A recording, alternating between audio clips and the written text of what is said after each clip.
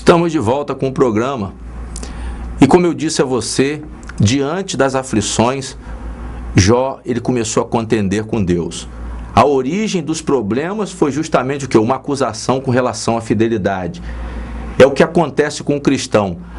As provações, elas vêm de encontro à nossa fidelidade. São provas de fé, são tentações que nós somos muitas vezes submetidos pelas ocorrências do mundo, pelas circunstâncias do mundo caído. A Bíblia diz que todos pecaram. Aí você pergunta, pastor, por que, que existe doença? Por que, que existe guerra? Por que existe tanto, existem tantos problemas? A Bíblia mostra que a decorrência dos problemas é com relação à queda do homem, é com relação ao pensamento decaído do homem para o pecado. E essa é a resposta bíblica. Mas existe uma restauração eterna, existe uma restauração no final dos tempos, mas ainda hoje, pela fé, nós conseguiremos superar, nós conseguiremos suportar as adversidades. E Jó ele precisou tomar uma atitude para que ele chegasse à resposta. Vamos ver na Bíblia agora, como eu disse, você apanhou sua Bíblia, em Jó, no capítulo 40, nós vamos ver a resposta da palavra de Deus para o seu problema. Me acompanhe.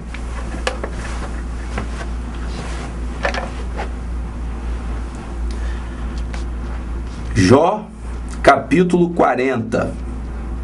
Localize aí na sua, na sua Bíblia e nós você vai acompanhar comigo, porque é muito importante, porque eu tenho certeza que você vai encontrar a resposta. Eu tenho certeza que a partir de hoje tudo vai mudar. Você vai começar a reagir. Pare de questionar.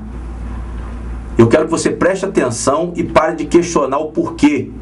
Mas confie em Deus. Eu quero levar a você essa, esse bom espírito, esse estado de ânimo de, de confiar em Deus em meio a essa grande dificuldade. Jó perdeu tudo. Ser tocado no patrimônio, ser tocado na família. São áreas, são áreas que abalam qualquer pessoa, fazem qualquer um chorar, estremecer, desistir da vida. Mas diante da confiança em Deus, não. Quando nós permanecemos na presença de Deus, olhamos para Deus, a, a, a, história muda. Eu recebo uma energia positiva, eu recebo um, um poder sobrenatural para suportar as dificuldades. É o que tem acontecido ali na igreja. Quantas pessoas já superaram crise? Nós recebemos pessoas depressivas, recebemos pessoas com doença, com câncer, que, que, que obtiveram a cura. E você vai ter oportunidade de ver nos testemunhos você vai, vai, vai ter oportunidade de ver o que acontece na Igreja Nação Santa. Então vamos para a palavra de Deus. A atitude de Jó foi determinante para a sua vitória. Você tem que tomar uma atitude hoje. Vamos ver no capítulo 40, a partir do versículo 1. Olha o que a Bíblia diz.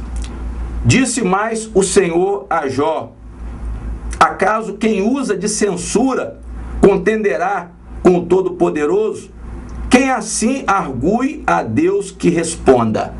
Não há resposta para, os, para as pessoas que censuram a Deus. Quando você começa a discutir os conselhos de Deus, o porquê das, das coisas, como elas estão acontecendo. O homem ele já dominou muitas coisas, Deus já, já revelou muitos mistérios para o homem. Mas o mistério do mal, o problema do mal, ele só vai, você só vai alcançar quando você levantar a sua cabeça e se aprofundar no conhecimento da verdade.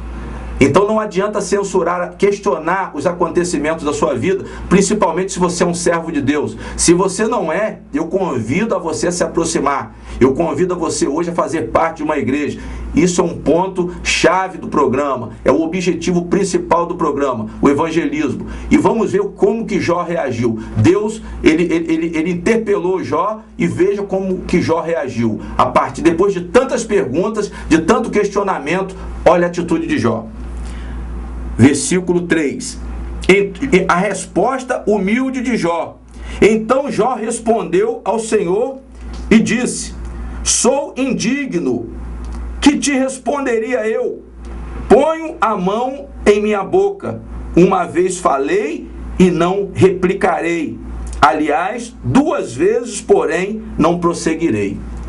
Jó, ele demonstrou aqui a humildade Irmãos, eu quero dizer que nesse momento, no momento do aperto, no momento do cerco, como nós vimos numa palavra que foi pregada aqui, nós temos que ter humildade, nós temos que parar.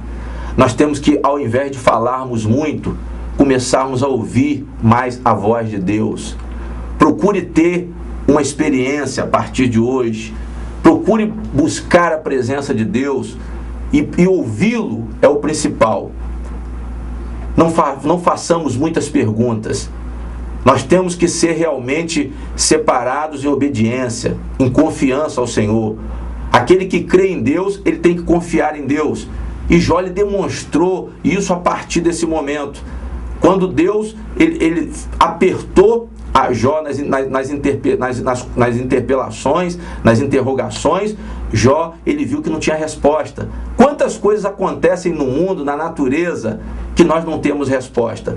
Apesar do homem ter desvendado muitos mistérios da natureza, do corpo humano, Hoje nós temos soluções para doenças que antes é, levavam, um, um, eram, era como uma peste, levavam muitas pessoas à morte. Mas hoje não, hoje nós temos curas para doenças que antes eram incuráveis. Então, de tempos em tempos, Deus vai revelando como os nossos problemas. Passamos por crises que parecem insuperáveis, mas vai chegar um tempo que a sua experiência, a partir da experiência com Deus, a, a partir do, do, da, sua, da, da sua estabilidade espiritual, a partir do conhecimento da verdade de Deus, você vai encontrar soluções, você vai encontrar respostas. Então Jó, ele se calou. Ele humildemente, ele se calou diante de Deus. Não adianta eu discutir principalmente assuntos que eu não conheço, coisas maiores. Eu disse no início da reunião que os pensamentos de Deus são maiores. Então não adianta a senhora discutir, não adianta a senhora falar demais, porque isso só vai causar mais cansaço, vai causar mais falta de esperança. Então Jó, a partir daí, ele partiu para uma confissão. E é justamente o que Deus está esperando de nós. Ele disse: Eu sou indigno. Todos nós somos indignos na presença de Deus. Ninguém tem direito a nada com Deus. Não, pastor, eu tenho direito. Eu tenho direito. Não, nós somos indignos. A, a, a, primeira, a primeira partida é essa. Nós somos indignos. Nós não temos, nós não temos como exigir nada de Deus. Porque a Bíblia diz que todos pecaram.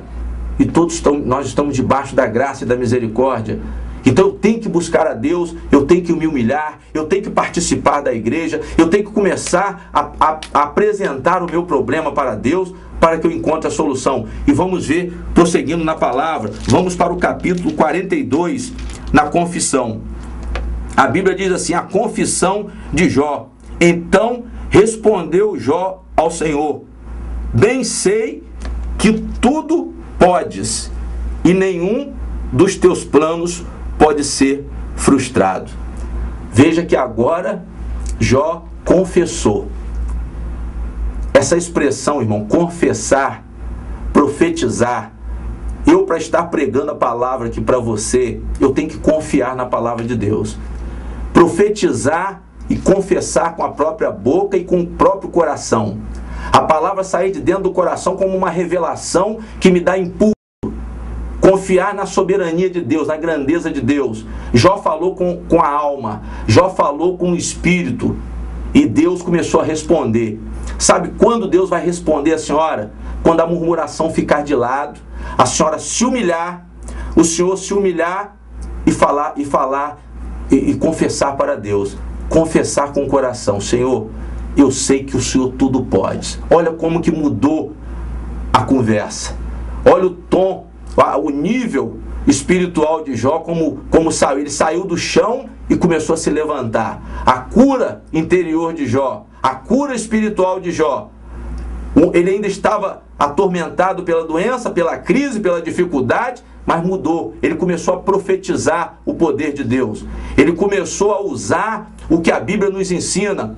O Espírito Santo começou a agir em Jó. Houve, houve uma reação. Então ele disse claramente no versículo 1: Olha a maravilha que ele declarou aqui: Bem sei que tudo podes. Será que a senhora sabe que Deus pode tudo? Ou você tem limitado o poder de Deus? Pastor, Deus pode curar o meu câncer? Pode. Ele pode curar o seu câncer, pode curar a AIDS, pode curar das doenças incuráveis e fazer o impossível acontecer. Mas para isso, eu tenho que confessar com o meu coração Eu tenho que ter essa disposição, permanecer até o final. Uma batalha, ela, ela tem que ser, é, nós temos que perseverar na batalha. Eu tenho que ter, permanecer nessa luta contínua. Mas não é eu chegar, avançar e recuar. Eu vou na igreja hoje, na semana que vem eu não vou. Eu posso ir, mas eu prefiro ficar caído na cama. Eu prefiro ficar deitado na cama, assistindo os programas pela televisão, como talvez você esteja agora assistindo, mas eu quero crer que essa palavra vai te levantar. Eu quero crer que essa palavra ela vai trazer a você o bom ânimo e mudar a sua história.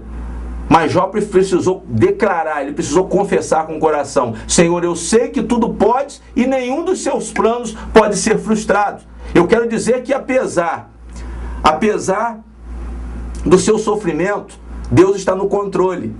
Existe um conselho de Deus para essa situação que você não sabe. Existe um propósito grande com a permissão dessa prova que você está passando, dessa dificuldade. Depois dessa, dessa situação, a experiência adquirida vai ser muito maior. E eu tenho certeza que você vai, você vai poder até é, pregar para alguém, passar a sua experiência para alguém, ser um testemunho. Então, os planos de Deus para a sua vida, irmãos, a partir daqui, da, da forma como você age, a partir daquilo que você planta, é, a, a sua história vai sendo escrita por Deus. Então Jó precisava de uma edificação. Por quê, pastor? Porque Jó ele, ele estava cercado realmente de bênçãos. E, e, e, Satanás acusou, não, a vida dele, ele, ele, ele hoje, ele, ele, é, ele é fiel ao Senhor porque ele tem tudo. Então Jó não tem o que reclamar, o Senhor dá tudo a ele, então com certeza ele vai, ele vai, ele vai ser fiel. Mas toca nas coisas dele que ele vai negar a fé, ele vai negar o Senhor como Deus. E aí, o mal, o mal, ele tem esse propósito. A ação do mal na nossa vida é o que? Tirar a nossa identidade espiritual. Aquilo que Deus disse, ele é justo e fiel, ele é um servo justo e fiel, ele tem um potencial espiritual, o mal vem para que nós venhamos a, a, a, negar a Deus, negar o nosso potencial espiritual. E foi o que aconteceu com Jó. Mas ele disse: não, os, os, os planos do Senhor não podem ser frustrados. Veja que confissão maravilhosa. E aí e ele continua. Vamos no versículo 3. Quem é aquele, como disseste, que sem conhecimento encobre o conselho? Na verdade, falei do que não entendia, coisas maravilhosas demais para mim, coisas que eu não conhecia. As coisas de Deus, irmão, irmã, são coisas maravilhosas. Quando você começar a conhecer as promessas de Deus, você vai ver que as coisas de Deus são maravilhosas.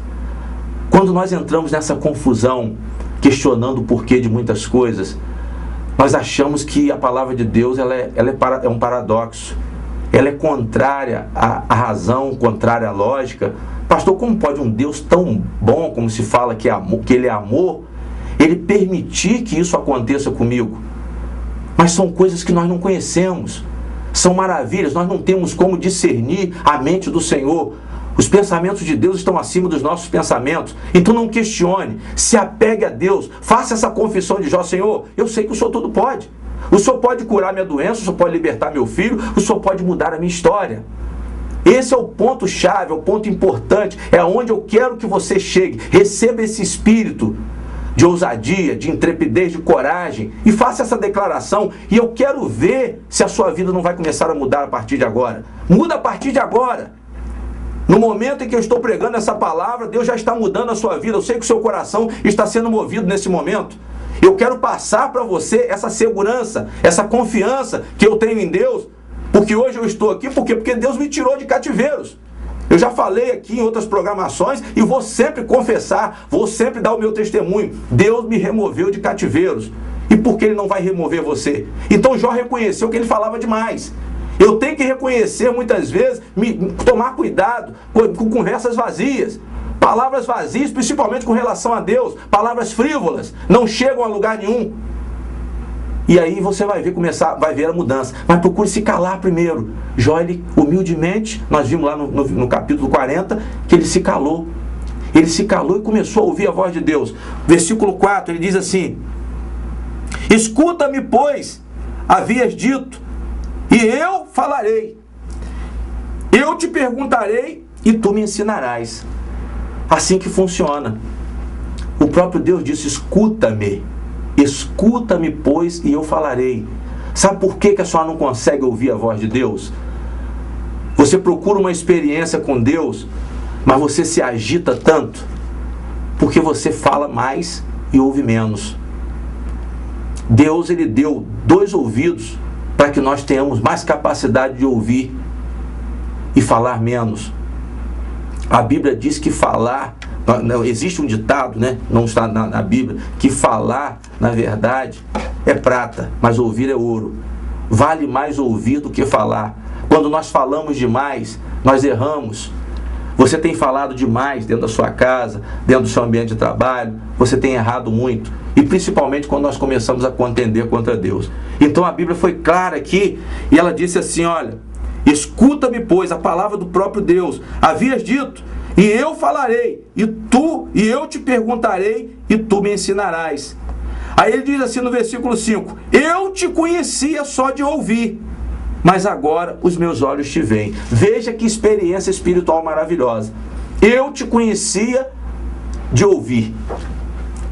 Você, você é um religioso. Pastor, como que é conhecer a Deus só de ouvir? É aquela pessoa que chega no, na igreja, senta no banco da igreja e fica ali sem propósito. Ela fica ali sem confessar. Não existe expressão de coração. A pessoa ouve a palavra, ela entra no ouvido e sai no outro e não causa transformação. Não levanta o ânimo dessa pessoa. Essa pessoa não toma uma atitude de reagir contra os problemas, de se apegar a Deus, de começar a usar a palavra como Jesus Cristo usou contra o próprio Satanás no deserto. Está escrito: Satanás nem só de pão viverá o homem. Bombardeou Satanás com a palavra e a Bíblia diz que Satanás teve que sair de perto de Jesus. Ele se afastou. Ele tentaria outra investida, mas naquele momento Jesus venceu a batalha. Satanás tentou várias investidas contra o nosso Senhor Jesus, mas ele perdeu a batalha até o final. No final ele perdeu por quê? Porque Jesus permaneceu confiante em Deus. O que Deus espera de nós é a mesma expressão que o nosso Senhor Jesus desenvolveu no ministério. Você tem que permanecer firme, confiar, conhecer Deus não somente de ouvir falar, mas procurar ver com os olhos, experiência espiritual, busca na igreja, participação da igreja, ser dizimista, ser ofertante da obra de Deus, que ter interesse que a obra de Deus cresça. Isso é conhecer Deus de ver. Isso é conhecer Deus de ver, participar. Milagres estão acontecendo diante de você, mas isso não te, não se, não te, não te causa nenhuma reação. Por que, que acontece na vida dos outros e não acontece na sua? Pare e pergunte para você mesmo. Sabe por quê? Porque você foi sempre um ouvinte da palavra, mas não houve esforço para que essa palavra fosse revelada no seu coração. Então eu, eu gostaria, eu quero crer hoje que tudo muda. A partir desse, desse programa, quando você começar a assistir esse programa, e principalmente por essa palavra, você vai mudar a sua reação. Não, pastor, agora os meus olhos veem a Deus. Agora eu tenho experiência com Deus, agora eu estou conhecendo o significado da palavra. A forma que o Senhor está interpretando a palavra para mim, ela realmente está me causando reação. E nós vamos, a igreja vai crescendo a partir desse momento. Eu conquisto você hoje, as pessoas veem o seu testemunho, veem a mudança na sua vida. Amanhã você começa a atrair pessoas. Antes você era uma necessitada, antes você precisava ser carregada. Hoje não, hoje você, tá, você vai, a partir de hoje, você vai ser voluntária. Você vai estar carregando, você vai estar pregando. E nós vamos finalizar a mensagem com que vamos ver no final do próximo bloco o que aconteceu com Jó. Eu vou mostrar a você o que Deus fez na vida de Jó. A transformação total da vida de Jó, que é justamente hoje o meu clamor por você. Transformação total da sua vida. Tudo que você perdeu, tudo que você perdeu, vai ser restaurado, vai ser restituído. Jó, ele teve a vitória a partir dessa confissão com o coração. A palavra da verdade, irmãos, ela tem que ser confessada com o coração. Eu tenho que, Deus tem que ver em mim, Deus tem que ver em mim a sinceridade e principalmente a confiança. Eu quero que você se levante dessa cama.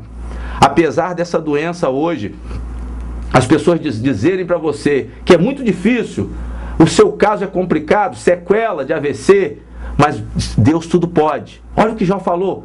Deus tudo pode. Nenhum dos planos de Deus pode ser frustrado. Pastor, só acredita nessa palavra? Claro, senão não estaria aqui pregando ela para você. Qual é o interesse que eu teria de falar de uma coisa que eu não acredito? Jamais. Jamais. A pregação ela é espontânea. A confissão é de coração. A confissão é de alma. Deus me retirou do cativeiro e eu estou aqui hoje para passar a experiência para você à luz da palavra, porque essa palavra foi revelada na minha vida. Então daqui a pouco eu volto mostrando o que aconteceu com Jó e o que vai acontecer na sua vida.